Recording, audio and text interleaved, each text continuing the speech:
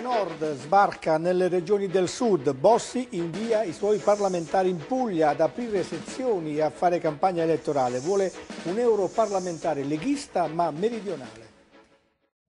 La Puglia pensa ad un partito del Sud, pronta la contromossa di Bossi che eh, ieri ha inviato a Bari tre suoi parlamentari, deputati Fava, Federiga e Torazzi, per annunciare che la Lega Nord sarà presente con una propria lista nella circoscrizione meridionale per le elezioni europee. Ma non solo, sarà presente anche alle elezioni comunali di Bari con propri candidati ad una lista che appoggerà Simone Di Cagno a Brescia. Non vogliamo colonizzare il Sud, hanno detto gli inviati di Bossi, ma solo proporre le nostre battaglie anche ai cittadini meridionali perché sono condivisibili. La sicurezza, il federalismo, la lotta alla criminalità e all'immigrazione clandestina. Su questi temi Bossi chiederà voti ai pugliesi e spera addirittura di poter eleggere nel Sud un parlamentare europeo. Nel pomeriggio, per passare dalle parole ai fatti, i tre inviati della Lega si sono spostati a Mottora nel Tarantino, dove hanno inaugurato una delle prime sezioni della Lega Nord nel Sud Italia.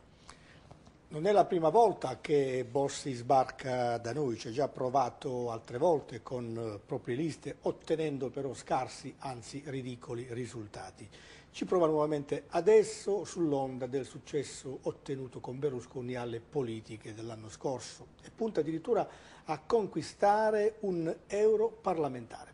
Per eleggerlo avrà bisogno nelle regioni della circoscrizione europea meridionale, e cioè Abruzzo, Molise, Campania, Basilicata, Puglia e Calabria, di almeno 200.000 voti, una cifra che ci sembra oggettivamente indisponibile per un partito che già nella denominazione sociale si definisce del nord.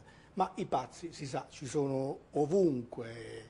Ovviamente non giudichiamo pazzi in generale gli elettori della Lega Nord, anzi tutt'altro, e nemmeno giudichiamo pazzi quei settentrionali che residenti al sud eh, voteranno molto probabilmente eh, Bossi. Certo però i meridionali che lo facessero, quelli sì, sarebbero veramente dei pazzi eh, autolesionisti, come definirli, suicidi, anche se, diciamoci la verità, da Bossi ci sarebbe molto da imparare.